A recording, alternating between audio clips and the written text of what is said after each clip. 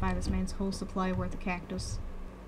Hello and welcome back to Minecraft Hardcore Season 2, Episode 21. Now this is the second time I am having to record this video. Because for whatever reason my recording software glitched out and the entire video is just me standing here staring at you. So, I want to go over what I did and what I'm working on over here. Alright, we're going to have to go all the way back to the house. I'll see you there in a second. Okay, starting out, I was looking at this map addressing the fact that I have new plans that are out behind my house. Because this is being kind of like a major populated area, so I put up some plans for some more buildings as well as a very unique building that's kind of on a diagonal here. This one's going to be a pain in the butt to build, but we're not working on that this episode. Just I'm now addressing that there are plans here for me to put in more buildings, possibly even a park or another garden here, and then a pathway leading back up that way. Now,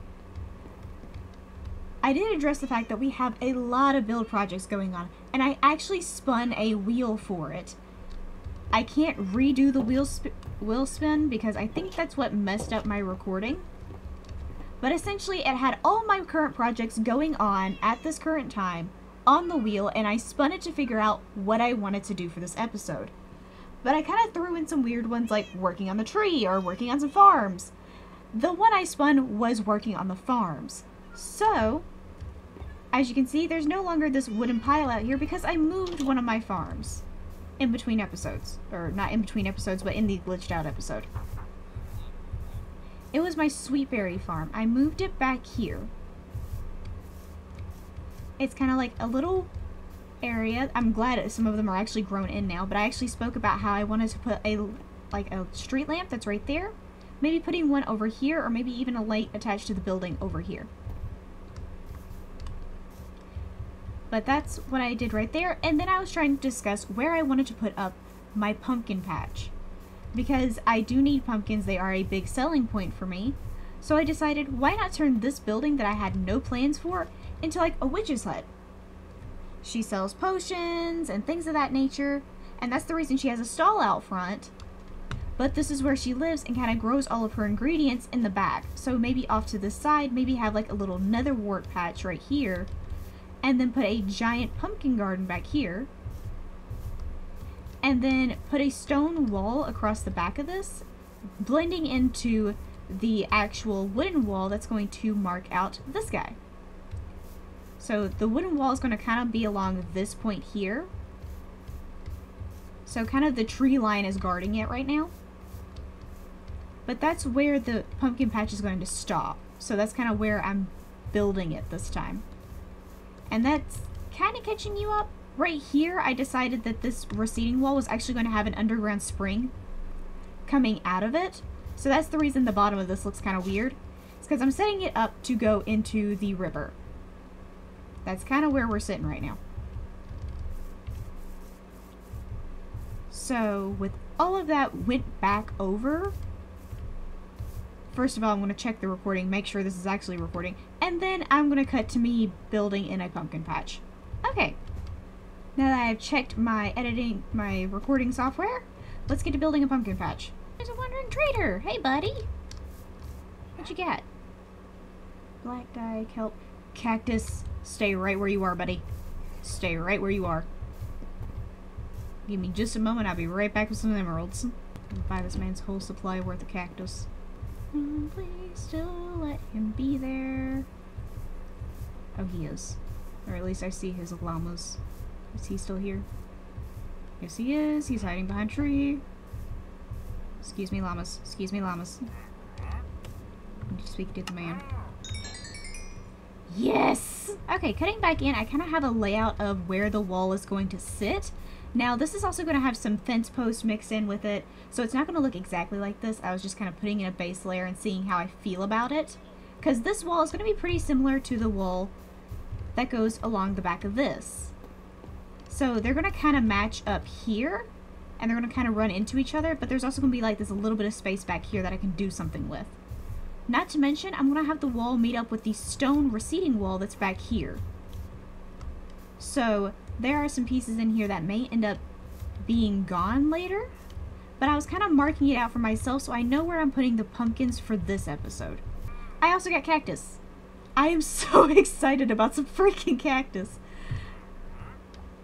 Even in season one, I couldn't find a desert. I have been all over this place, have not found a desert. This guy came up in here and had a whole bunch of cactus. I also bought out all of his black dye and some magenta dye with the emeralds I had left over, but I bought up every piece of cactus he had. Because everything else in his inventory, I can get myself.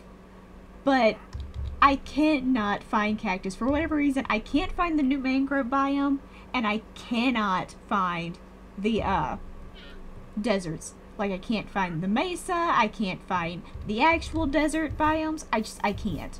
Anywhere with cactus, I can't find. I can find huge beaches, I can't find freaking cactus. So I'm gonna go put away one of my most one of my most precious commodities, and I'm just gonna go back with some pumpkins. Okay, and that's our pumpkin patch. I'm gonna leave that spot down there to possibly be my nether wart farm. Or I'm gonna keep this space. I don't know. We'll have to figure it out once I get nether wart and see how far along I am with the village development before I fully put that in. I also need to go through and get rid of any of my floor torches that are left. Because there are plenty of torches on this.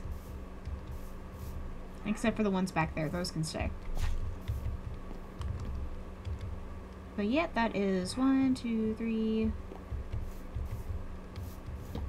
four, five, six, seven, eight, nine, ten, eleven, twelve, thirteen different patches.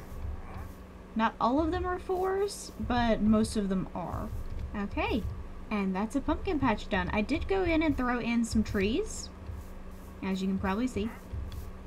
They're just basic spruce trees. I did have to use the dirt placement kind of thing and just build up around the saplings and grow them so that they were higher up off the ground. And the only one that kind of impedes any walking space is this one. And even then I can just kind of morph the path around it. Just so it looks like you walk up this way. But I did end up growing a few of them up. Not all of them are grown up. But I think we're going to go in and figure out some other areas where I can fit in some smaller farms. One spot I think of heavily is this spot back here. It's kind of like hidden off back here. There isn't a whole lot back here. But back here, there's a whole bunch of empty space that I could probably use to put something back here that could be of a little bit more use. So I'm thinking maybe put for the time being making it a potato farm, but once I get carrots, maybe making this a carrot farm. And there we go, a little kind of hidden alleyway area. I need to get more glow lichen back here. Because there's one piece there that I kind of want to move so that I can plant another potato there, but I need shears to do that. So hold on, I'm going to go grab some shears and see if I have any more bone meal in my bone meal farm. Okay, and there we go. We have a little back alleyway with some potatoes growing. I did throw a bunch of glow lichen back here, so hopefully it's lit up enough. If not, I can go through and just add a whole bunch more glow lichen.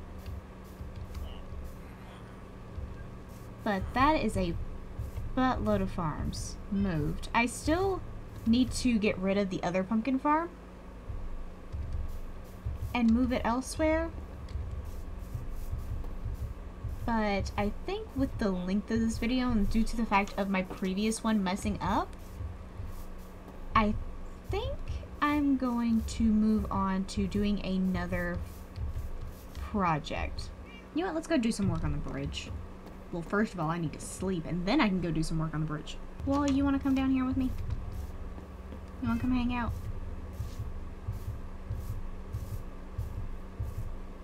Wall has actually been joining me on most of my adventures. The only place I don't take Wall is when I am going into the nether in between episodes. Because I don't want to put this cat in more danger than he already is in when he's traveling with me. There we go. Also, I moved an iron golem down here, not because I didn't feel safe down here or anything, but because he kept getting in the way. I was trying to set up the plans for that, and so I moved him down here so he'd be out of the way. Okay, I don't have the stone brick to be doing all of this. I have plenty of mossy stone brick and some cracked stone brick, but I don't have enough regular stone bricks because once I get to the top, it's almost completely stone brick. So right now, this one isn't even textured completely right because I was already supposed to start mixing in regular uh, stone brick with it, but I haven't done that yet. Not to mention this tower completely is just overgrown, seeing as there's bits of moss in it. And I kind of started doing some of the under the bridge stuff, but I haven't done quite a lot of it yet. What I want to do is mark out where the homes are going to be on this side. Because of course there's going to be people working, chopping the lumber, replanting the trees, things of that nature. So I'm going to need to go through and figure out where I actually want these buildings to sit. Here we go. That's two buildings to kind of veer us off going into the tree farm that's going to take up the entire rest of this island. These houses are going to be for the workers of the island. And then possibly put up like some market stalls and stuff like this so people from the big portion of the city can bring their goods over here and also trade to these guys over here as well as these guys trading goods like smaller stocks of stuff or overstock to the people of the village like firewood things of that nature. Okay, and you can kind of see them over there. I kind of need to go back over there with some black wool but i used all of it to mark out the stuff over here. So i need to go over there with like some bright colors of wool and mark it out. But for right now that's kind of what we're working with there. And that's going to have to be all for this episode. I hope you enjoyed and i will see you guys in the next episode. Bye